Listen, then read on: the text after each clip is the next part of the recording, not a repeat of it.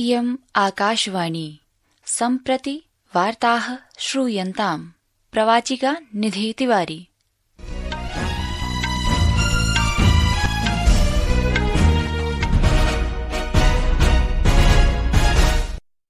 अथ वार्ताः।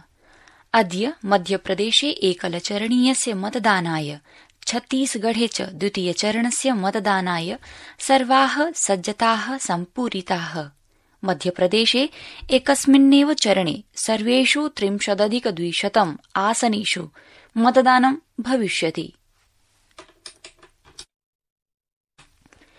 द्विपञ्चाशदधिक द्विशतं महिलाः समेत्य त्रयस्त्रिंशदधिक पञ्चशतोत्तर द्विसहस्रं प्रत्याशिनः अस्मिन् निर्वाचन समराङ्गणे सन्ति।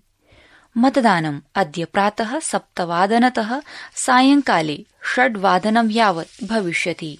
परञ्च बालाघाट जनपदस्य बैहर लांजी परसवाड़ा विधानसभासनेषु मण्डला डिण्डोरी जनपदयोः च केषुचित् मतदानकेन्द्रेषु त्रिवादनं यावदेव मतदानं भविष्यति।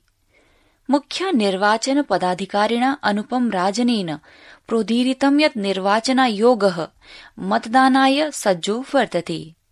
मतदानात् प्राक् अद्य राजनीतिक दलानां प्रतिनिधीनां सम्मुखे ईवीएम यन्त्राणां पारदर्शितां सुनिश्चेतुं कृत्रिम मतदानस्य आयोजनं जातम्। एतदनन्तरं मतदानं सप्तवादनतः समारप्स्यते। सम्प्रति छत्तीसगढे द्वितीयचरणस्य अन्तिमचरणस्य च मतदानाय अष्टशतोत्तर अष्टादश सहस्राधिकानि मतदानकेन्द्राणि विनिर्मितानि। एतेष् निर्मितकेन्द्रेष् सप्तशतं संगवारी मतदानकेन्द्राणि सन्ति, यत्र केवलं महिला मतदानकर्मिण विद्यन्ते। मतदानं प्रातः अष्टवादनतः सायंकालस्य पञ्चवादनपर्यन्तं भविष्यति। तत्रैव बिन्द्रानवागढ विधानसभा क्षेत्रस्य नव मतदानकेन्द्रेष् प्रातः सप्तवादनतः मध्याह्ने त्रिवादनं यावदेव मतदानं प्रचलिष्यति। द्वितीयचरणस्य सप्तति आसनेष् अष्टपञ्चाशदधिक नवशतं प्रत्याशिनः निर्वाचनयुद्धे वर्तन्ते। प्रधानमन्त्री नरेन्द्रमोदी अद्य प्रातः दशवादने द्वितीयस्य voice of global south summit इत्यस्य सम्मेलनस्य उद्घाटनसत्रस्य नेतृत्वं करिष्यति। भारतं सम्मेलनस्यास्य आतिथ्यम् आभासीय माध्यमेन करोति। अस्य उद्घाटनसत्रस्य अनन्तरं चत्वारि मन्त्रिस्तरीयसत्राणि भविष्यन्ति। येष् विदेश शिक्षा, वित्त, पर्यावरण मन्त्रिणां सत्राणि सम्मिलितानि सन्ति।